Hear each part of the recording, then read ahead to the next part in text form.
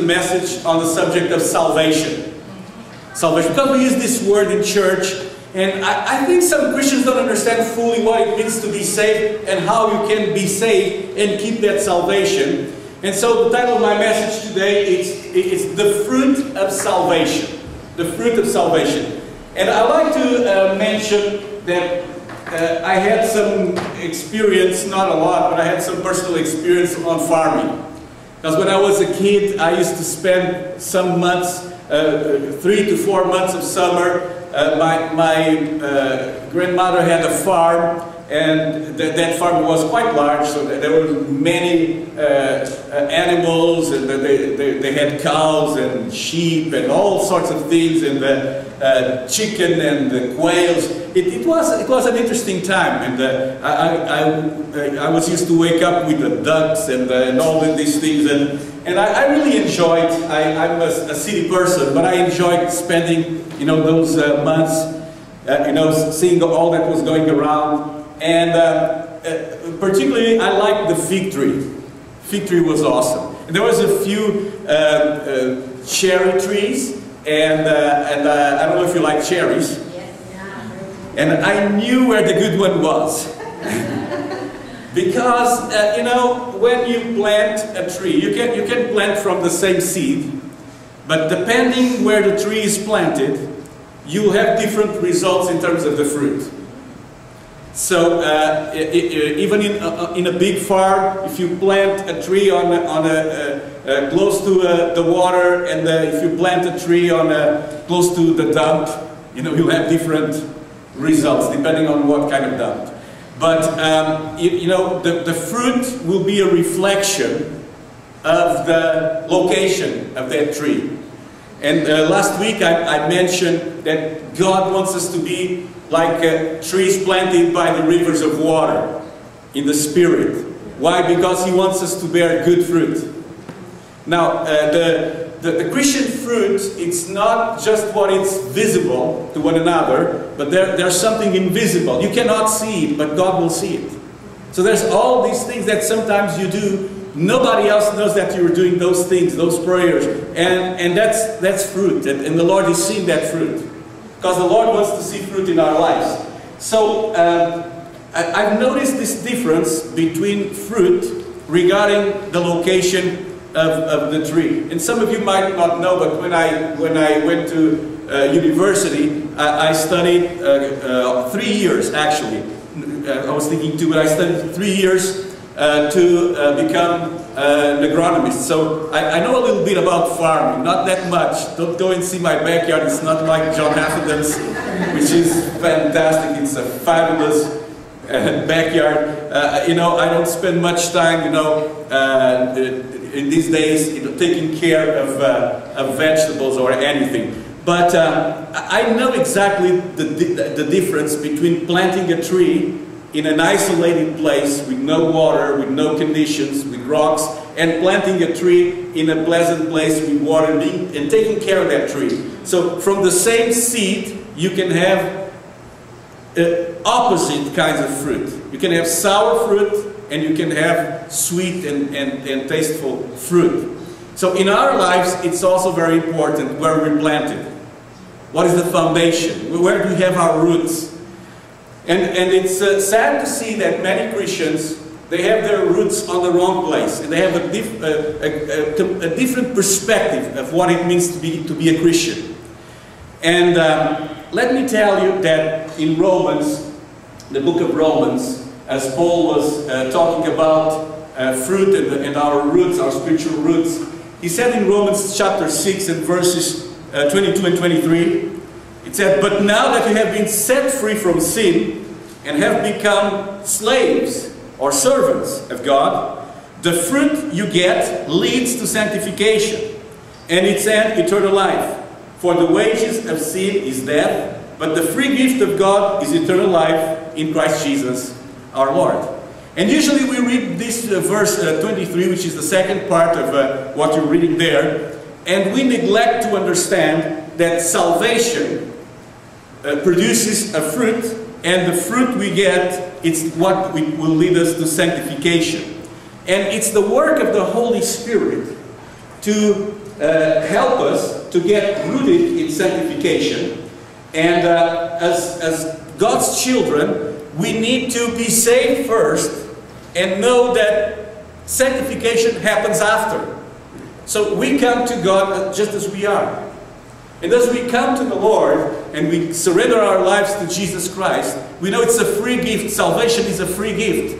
We can expect our lives to be transformed. Amen? And, and this happens naturally. So sanctification, it's a fruit, it's not a root. And, and what some people do, they uh, misunderstand this. They think, well, in order to be saved, uh, I need to abstain from taking drugs. I need to abstain from sin. In order, you know, if, I, if I'm going to be saved and going to church, I need to stop going to the club. I need to stop doing this. I need to stop that. And this is not what Christianity is all about. You don't need to stop anything. Listen to me. In order to be saved, you need to receive the free gift, which is eternal life in Christ Jesus. You need to repent. And today, let me tell you, I'm celebrating Saint Jean. But I'm not celebrating Saint Jean Baptiste Day as Quebec celebrates. I'm celebrating Saint Jean Baptiste by doing what John the Baptist was preaching. Alright? So we need to understand that the world can pass you a message and today they, they say we're celebrating St. John the Baptist. They're not celebrating anything. They're celebrating beer, booze, and party. Because the message of, of John the Baptist was repent, turn away from your sins.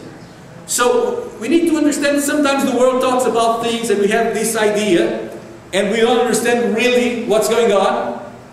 So I want to encourage you to celebrate today John the Baptist by repenting from your life of sin and turning your life to God. But in order to be saved, you don't need to do anything. Jesus did it all. You need to decide, yes, to surrender your life to Him. And as Romans said, to become a slave of a master. Now your Lord is the Lord Jesus Christ.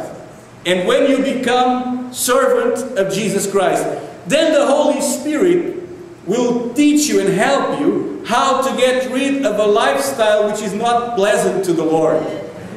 And when we naturally follow Christ, then there's a fruit in our life. It's called sanctification.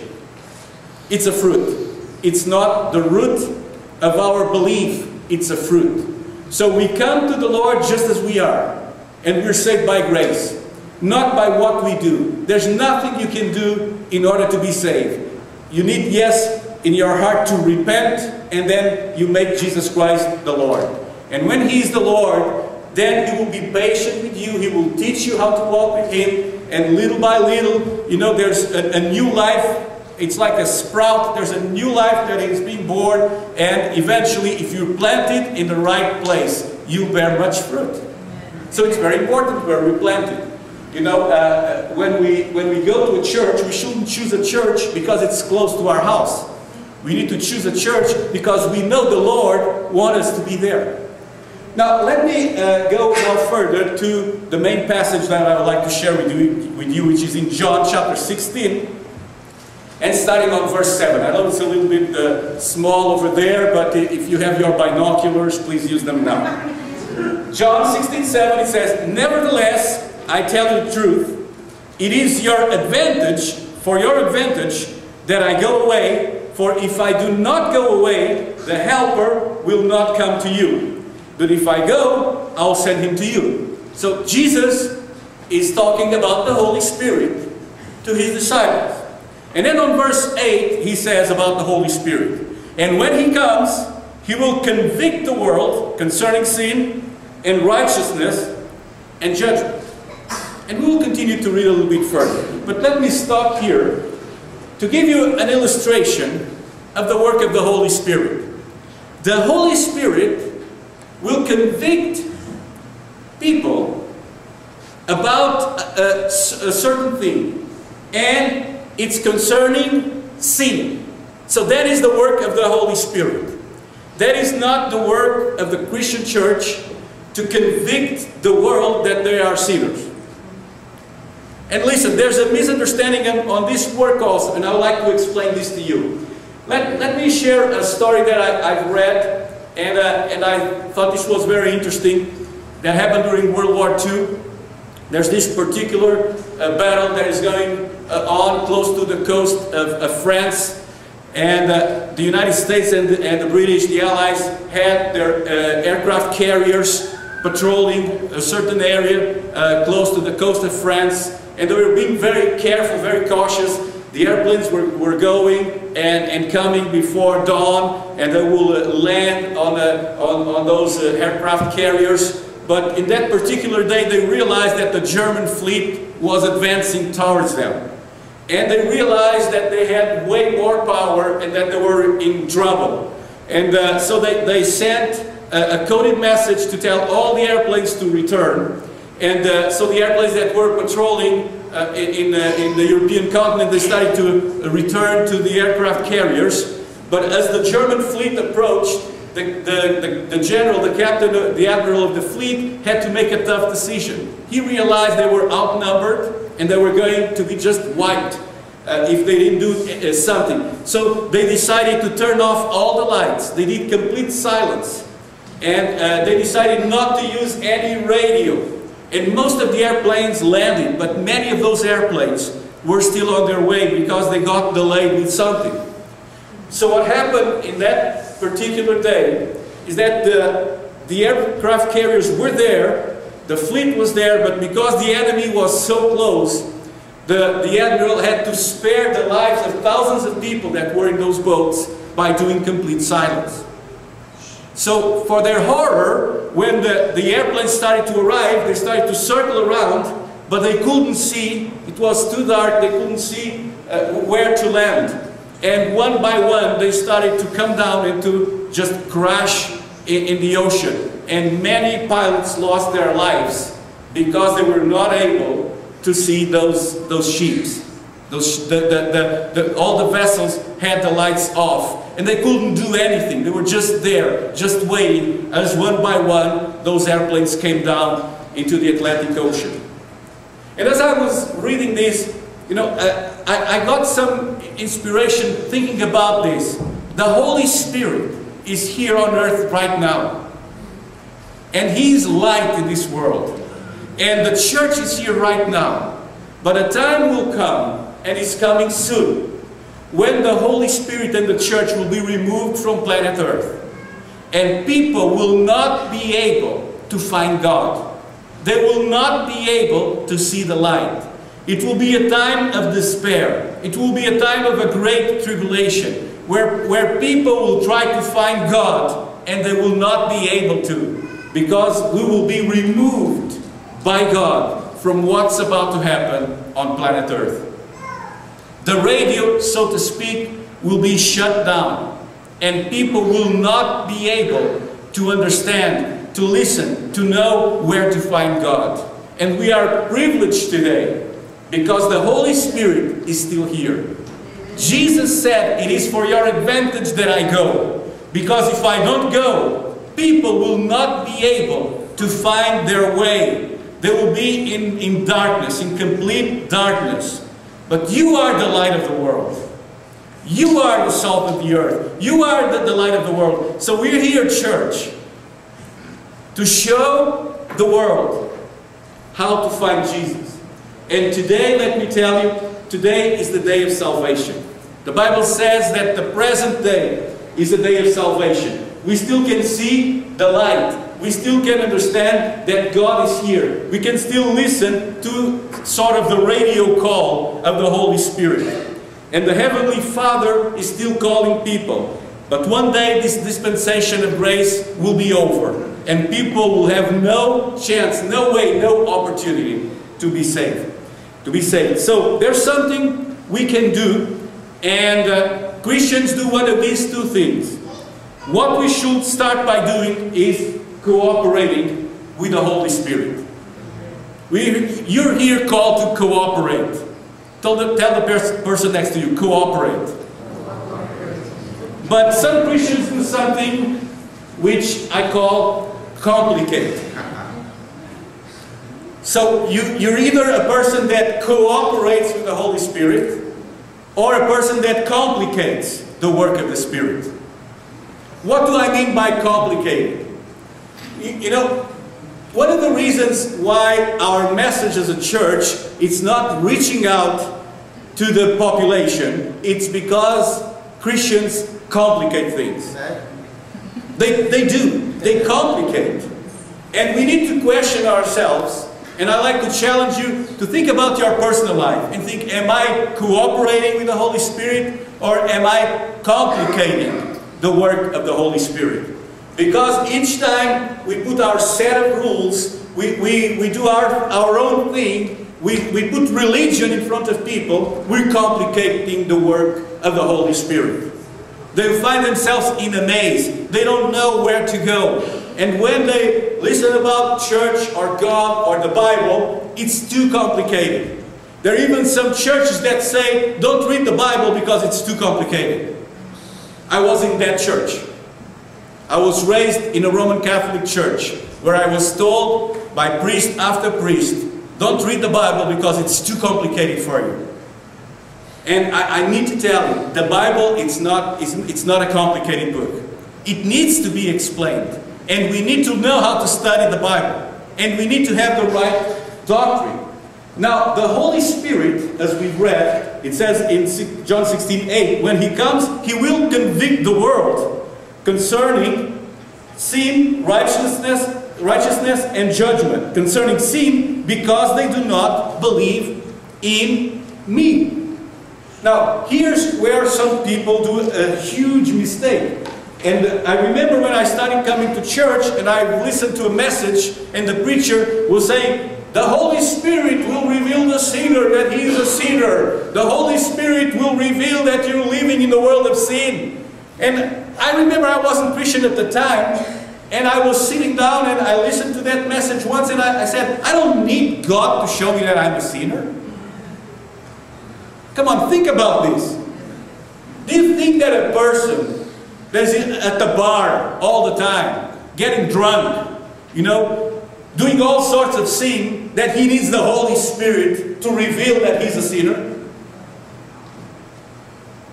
That's a, that's a terrible mistake. And as a church, we need to understand salvation. The word convict or elegio in the original, it means to convince with solid, compelling evidence. But the Holy Spirit is not convincing with solid, compelling evidence that people are, are just sinners. But look what, what, it, what it says. He will convict the world concerning sin and judgment. Verse 9, concerning sin because they do not believe in me. So what is the work of the Holy Spirit? The work of the Holy Spirit is to help people, to usher them to Jesus to believe in Jesus. Not just, uh, you know, to tell people, to complicate things and to, and, and to tell, oh, the Holy Spirit will show you that you did all these bad things. It's like people think that God is keeping record and He will say one day, Marlon, you have lusted 355 times during your life and you've lied 1,468. The Holy Spirit will not do these things. Of course, God knows that we're sinners. We're in this world. We have temptation. We have all sorts of things. There's only one that was tempted and never committed a sin. His name is Jesus. This is why He is our Savior. He was no ordinary man. He was the Son of God. And He came to this world, live among us. And He was tempted in all things like we are. He was tempted to drink. He was tempted to have lust. He was tempted in all these things. But he was able to keep his holiness because not only he was 100% man, but he was 100% God, God. He was holy. And as a holy man, he lived in this world and he never condemned sinners. He told them, God loves you. God has a different life for you. This is the message of the church. Then the work of the Holy Spirit, yes, is to bring solid, compelling evidence of who Jesus Christ is. And when you get rooted in Jesus Christ, then sanctification happens. Then you will not feel comfortable doing certain things because you will feel, well, I shouldn't be doing this.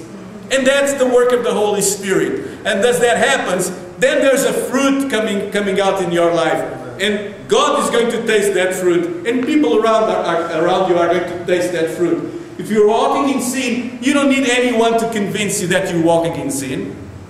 Come on. Come on, church.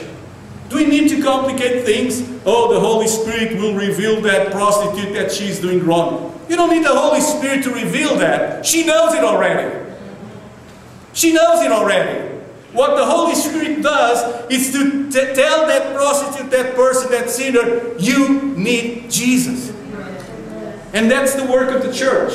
Now, in verse, let's continue in this uh, passage. In verse 9, as you see, the, Jesus said concerning sin, because they do not believe in me. And let me tell you what can get you to hell. Let me tell you that sin, like lying, will not get you to hell. Robbing will not get you to hell. Murdering a person will not get you to hell. According to the teaching of Jesus, there's only one thing that will get you to hell. You know that God loves you? And that thing that will get you to hell is unbelief. Unbelief. If you don't believe in Jesus, listen, He's the way, the truth, and the life. There's no other way to God. People can tell you there's all sorts of ways. You know, you can uh, worship Mother Earth, you can do this, you can do that, you can uh, be a good person, be a Buddhist, be this, be that. As long as you're good, God is okay with you. No, He's not. Because you're presented with an opportunity of believing His Son. And you might tell me, what about a person that never heard about Jesus? Do you think our God is so small that He cannot reveal Himself to anyone He can? How big is your God? Today there's a, great turmoil in, in Egypt. And we've seen how religious fanatics are trying to take control of that country. And there's a great turmoil. And in this turmoil, let me tell you that the church is flourishing. People are getting saved like never before. We're seeing people in Egypt, Muslims coming to the Lord, not by the dozens, but by the hundreds and by the thousands. It's what we call a revival. And statistics show clearly that in that revival that is going on right now in Egypt, 50% of the Muslims that are coming to Jesus came through a, a dream or a vision. Isn't that something? Nobody preached to them. God preached Himself revealing himself through a dream or a, vision, and they're coming to the Lord. And there's a lot more Christians in Egypt than in Canada. And when I say a lot more, it's a lot more. The percentage, it's, it's triple the percentage, percentage of Christians here in Canada. So don't tell me that God cannot reveal himself. The idea that God needs you it's a complication to the true gospel.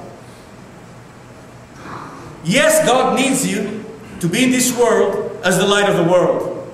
But if you're not here, you think God is so small that He will not do His work because you're not doing yours? Do you believe that gospel? That the reason why we don't see revival and why we don't see people getting saved is because the church is not doing their role? God will do His will and His work regardless of you and me. And if that shocks you, I'm so sorry. But that's the reality. And you may ask, oh, Pastor, what about those pygmies in Africa and uh, those tribes that are lost in the Amazon jungle? You know, nobody goes there, so they don't know about Jesus. Do you think our God is so small that He cannot reveal Himself through things that are created? He can. Yes, He can. I have the great privilege of pastoring a Mohawk church, and some of our brothers are here from, from the Mohawk Reserve. God bless you. And uh, and now every month I'm also helping a church in uh, the church in Oka. So I'm preaching there every month and helping that church to, to move forward. And um, it's part of, of what I do as, as ministry. And, and uh, as I study, you know, the Native American culture, I can see all the symbols of their gods, false gods, but I see our true God in all these symbols. In the Great Spirit, in the eagle, in all these things that we say, oh, that's folklore. It's not folklore. God revealed Himself to the Native Americans without anyone having to preach here or without the Mormons coming here and preach the gospel. and that may shock you, but God can reveal Himself. He doesn't need you, but He's counting on you. And this is what we need to understand. The work of the Holy Spirit is not to say, shame on you because you've lied and you cheated and you did these things. Because you're a drunk and a liar. Shame on you because you're doing this.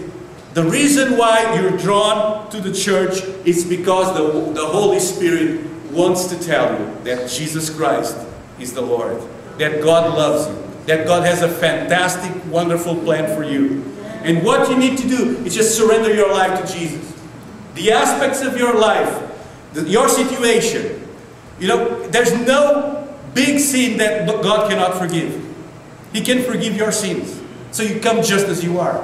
And don't think, well, He will accept me if I stop doing these things. Go one step at a time. The first thing you need to do is believing in Jesus. And the Bible says about Jesus in 1 John 2 2 that He is the propitiation for our sins. And not for our sins only, but also for the sins of the whole world. You know, Jesus, when he was at the cross, he took upon himself the sin of the whole world. This is why God is not upset with you. Think about it. God hates sin. But God placed all his wrath, all his anger upon Jesus when he was there at Calvary.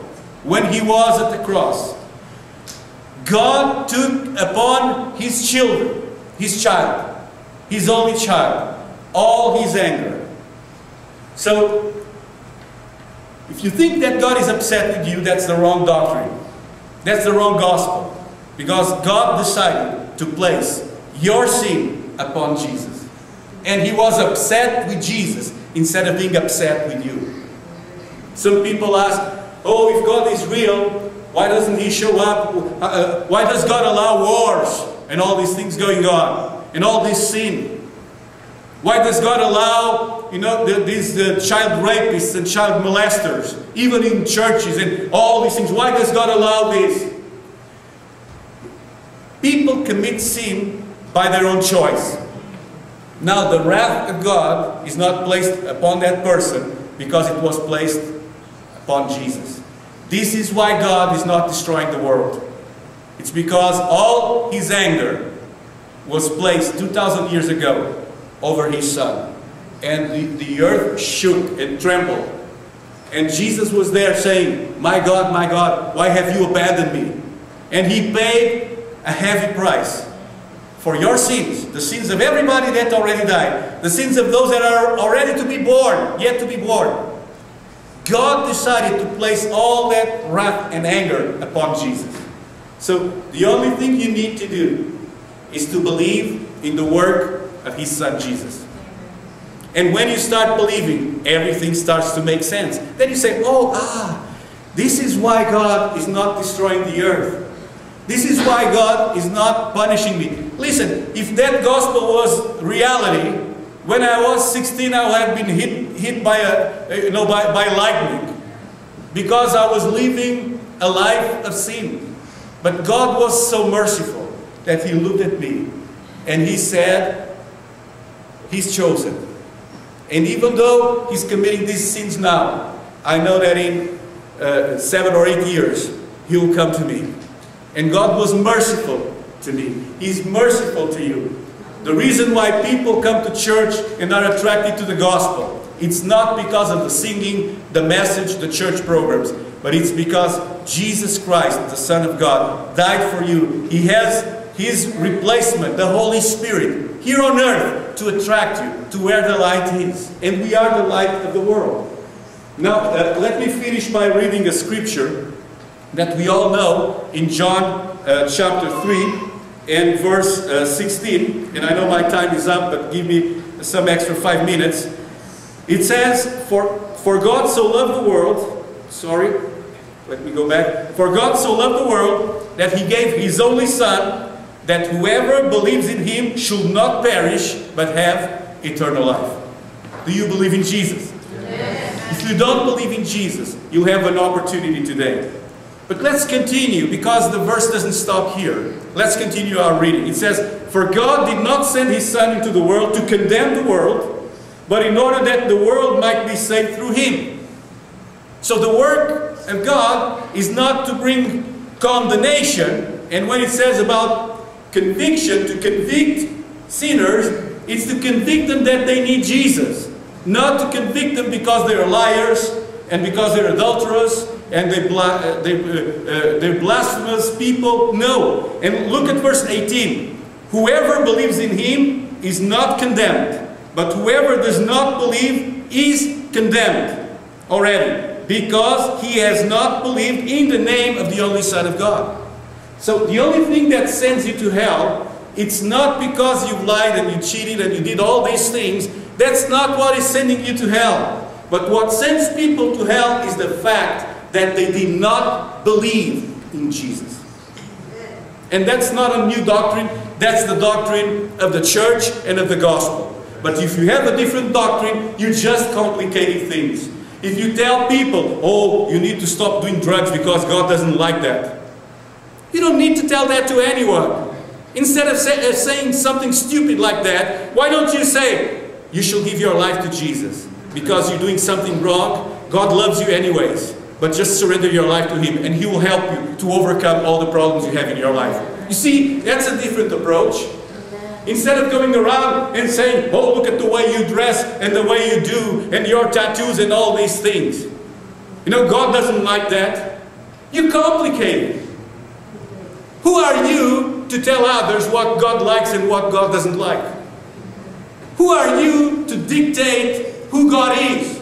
God said in His Word that people will go to hell if they do not believe in the name of His only Son.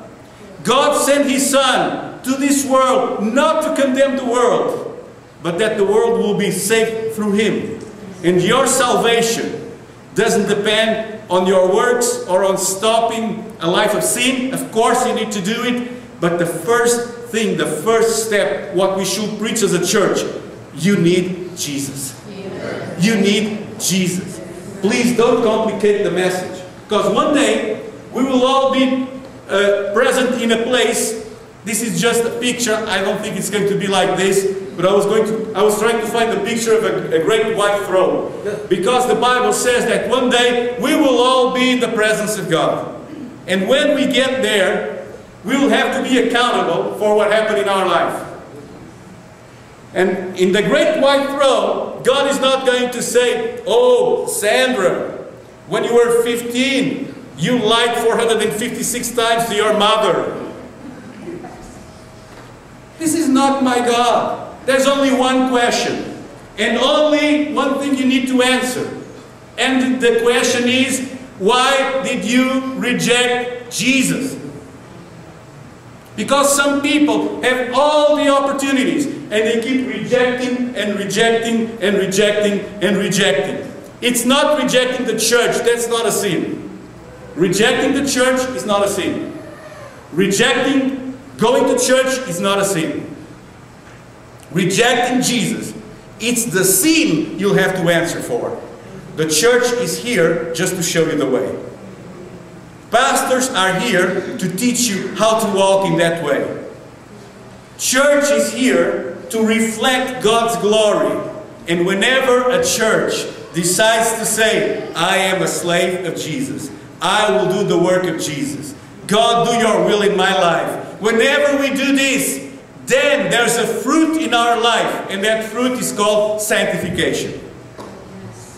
First, get rooted into Jesus. Get rooted in a good Bible preaching church. Get rooted in the Word of God. Start reading the Word. Start praying to the Lord. And about your sin, that's between you and God. You don't need to confess your sins to a priest or to any other person. And as a church, we need to think if we are cooperating with the Holy Spirit or if we are complicating the work of the Holy Spirit. Can you say cooperate? That's who we are. We are God's ambassadors. Paul said we're in this world to manifest the glory of God. We're ambassadors of the King. The kingdom of God has come. And now we have chosen, I'm going to live under the banner of Jesus Christ. He is my Lord, He is my King. And people can say all sorts of things that it's just God or it's just another thing, don't use the name of Jesus. But God will require from every single person accountability. And you have the privilege and the opportunity to say yes to Jesus and to cooperate with Him. Now, finally, let me remind you that sanctification is a fruit of salvation and not a root of salvation. So if you still smoke, I have good news for you. You're going to heaven. You're going faster than me, but you're going to heaven. Are you following me? If you backslide from church and you're somewhere else because you're really not into church, but you still love the Lord, you're still saved. There's a problem though. Your fruit is going to be sour. There's fruit, but it's going to be a little bit sour. That's why also then as we walk with God, the Bible says, do not be conformed to this world, but be transformed by the renewal of your mind, that by testing you may discern what is the will of God, what is good and acceptable and perfect. That's the work of the Holy Spirit. And the church is here to help you on the way. But sanctification, not being conformed to the world, it's not essential for salvation. It's not part of the deal. Listen, when, when you do a, cake or something, you ladies and some men, you, you're doing the cake and you're putting the ingredients. Right? Yes. Try to put salt instead of sugar and you'll end up with something horrible. I'm not saying you cannot put salt in a, in a cake. I'm just saying if you replace sugar with salt, it's going to be something horrible because you've used the wrong ingredient. Are you following me? Salvation has to have the right ingredients. And the right ingredients are your heart and the heart of God. That's it. It's you and Him. There's, it's nothing to do about church, about what you should do or you shouldn't do. It's your heart and God's heart. God loves sinners. God hates religious people. How do I know this? Because I've read the New Testament. I've seen how Jesus Christ treated the religious fanatics. He was always in confrontation with them. He even called them names. He was angry at them. Why? Not because of who they were as people, as persons, but because they were complicating the work of God. And then he told the church a very simple message. He didn't say, go and preach the four spiritual laws, go and preach this. No, he said, go and preach this simple message to all people. Whoever believes in me is saved, and whoever does not believe is condemned. One of these days I was trying to, to watch Chris, Chris Rock on TV. And every two words he says, he swears one. Or every three words. And he's so much swearing. So, that man, oh, his mouth is terrible. That's his job. Do you know he's a Christian? And he goes to church. He even tithes. He preaches the word of God. But then he has kind of a double life. Because he shows up as this, this guy, you know, full of filth and all these things. God is working on him. That guy is saved. His fruit is not the best.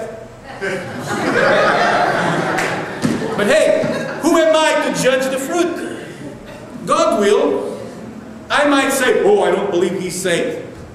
Who are you to believe or disbelieve in salvation? That's not up to you. That's not up to us to see to say who's saved, who's not. We're here just to tell people Jesus loves you. Some of you, you're going through trials, tribulations, difficulties. This is my last Bible verse, which is in uh, 1 Timothy and verse uh, uh, chapter 3 or, or 2 Timothy chapter 3. And uh, it says, But understand this, that in the last days there will come times of difficulty, for people will be lovers of self, lovers of money, proud, arrogant, abusive, disobedient to their parents, ungrateful, unholy, heartless, unappeasable, slanderous, without self-control, brutal, not loving God, Christian. Christian, I added. it's not there. But these are the kind of people we see at church. These are the kind of people that live at home with you. These are the kind of people that we see around in our generation. Look at the attributes, they're all there.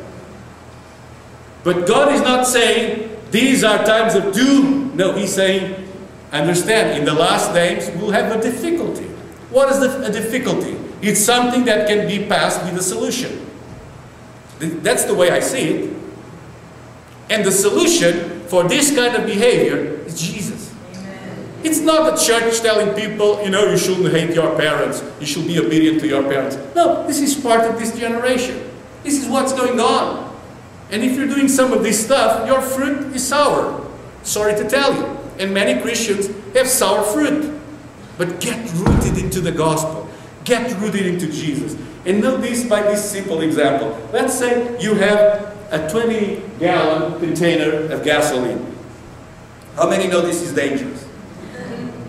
Let's say you open the container, and after you open the container, you light a, a match. You're going to have something just like this. You're going to have a nice explosion. But on the other hand, put those 20 gallons of gasoline in this BMW and you'll be able to drive 300 miles and the explosions are, are still there, yet those explosions now are controlled.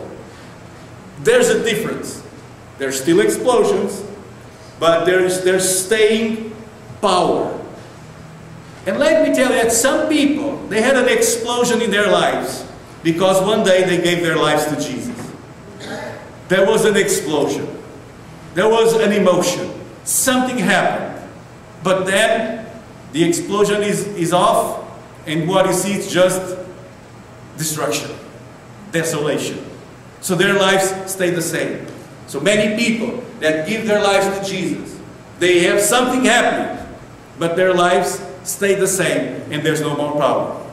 But there's the other ones that are more like this nice red BMW that use the flow of power that's coming from God.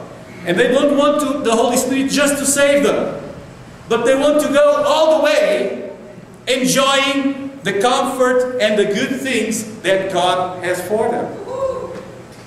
God's power can transform your life. And yes, you can also get a BMW like that one. That's your choice. And you can choose to be planted by the waters. Today is your day. Don't be fooled by religion and by complication that you need to do this, and now you need to do the Alpha course, and now you need to go to a cell group, and now you need to do this, and now you need to take this course, and now you need to do that, and now you need to follow this strategy, and now you need to take this course that the church offers. No! You need to do one thing. Believe in Jesus. Let us all stand, and I'm going to give you the opportunity, before you leave this place, to give your life to the Lord. And listen, maybe you have come to church so many times, and it never clicked that the message of the gospel, salvation, is about believing in Jesus. And you said, well, I received Jesus Christ as my Lord, but now I have these difficulties in my life. Know that in the last days there will be difficult times. There's all these kinds of things. And maybe you're one of these people that are doing this wrong behavior. God is not here to condemn you, He loves you. He loves you so much. He loves you so much. You just need to say, Jesus, I give you my life.